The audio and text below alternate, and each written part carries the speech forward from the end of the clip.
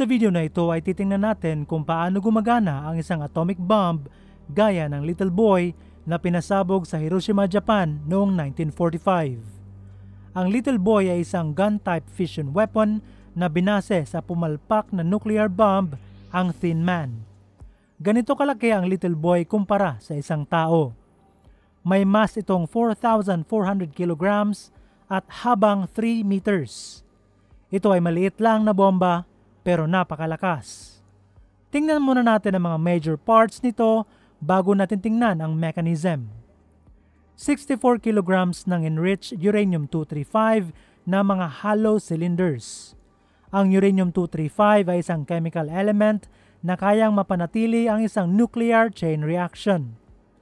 Titingnan natin ito mamaya. Ang uranium-235 ay nakahati sa dalawang parte, ang uranium projectile ring slug at uranium target rings. Ang sunod na mga parte ay ang tatlong electric gun primers na ginagamit para matrigger ang powder charges. Ang next parts ay ang cordite powder bags o powder charges. Projectile steel backing, projectile tungsten carbide disc, barometric pressure sensor holes na nakakonekta sa barometric device.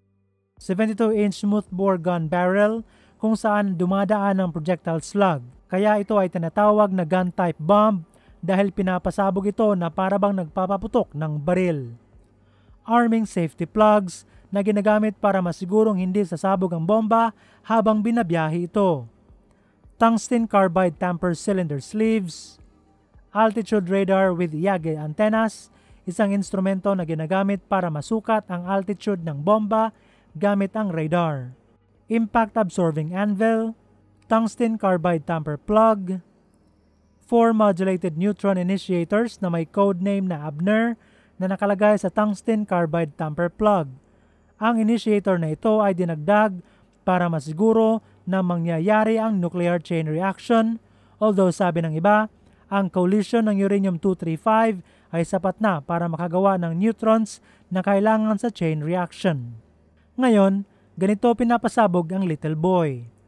Sa sandaling ihulog na ang bomba mula sa eroplano, ay tatanggalin naman ang mga arming plugs na ito dahilan para ma-activate ang timer na gumagamit ng 24 volts battery. Ang timer na ito ay importante para masiguro na hindi sasabog ang bomba ng maaga dahilan para madamay ang eroplano o di naman kaya kapag masyadong late ay hindi makukuha ang dapat na high levels of blast wave at mataas na yields ng thermal radiation. Ang recommended altitude para sa high levels of blast wave at mataas na yields ng thermal radiation ay 580 kilometers para sa ganitong klase ng bomba. Pagkaraan ng 15 seconds pagkatapos ihulog ng bomba, gagamitin naman ito ang barometric device para malaman ang altitude nito sa pamamagitan ng pagsukat ng air pressure. Ang purpose ng barometric stage ay para ma-delay ang activation ng radar altimeters para maiwasan na sumabog ang bomba ng maaga dahil sa mga radars na nasa malapit lang. Sa altitude na 2,000 meters mula sa lupa ay ma-activate na ang radar altimeters para makuha ang altitude ng bomba. Kapag na-detect na ng altimeter ang designated altitude which is 580 kilometers, ang firing switch circuit ay magsasara na. Then mag-ignite naman ngayon ang gun primers na nasa breech plug dahilan para sumabog din ang powder charges bags. Pagkatapos ay titilapo naman ang uranium projectile papunta sa kabilang bahagi ng tubo kung nasaan ang target sa bilis na 300 meters per second. Take note na sa pagbanggaan ng dalawa, ang apat na modulated neutron initiator ay maa-activate ang polonium at beryllium na nasa loob nito ay maghahalo at maglalabas ng maraming neutrons. Ang mga neutrons ay importante para magsimula ang nuclear chain reaction. Pagkatapos, ang mga neutrons ay titirahin ang mga mas malalaking uranium-235 atoms. Ang bawat uranium-235 atom na natamaan ng isang neutron ay maglalabas ng dalawang uranium-235 atoms, tatlong neutrons at enerhiya.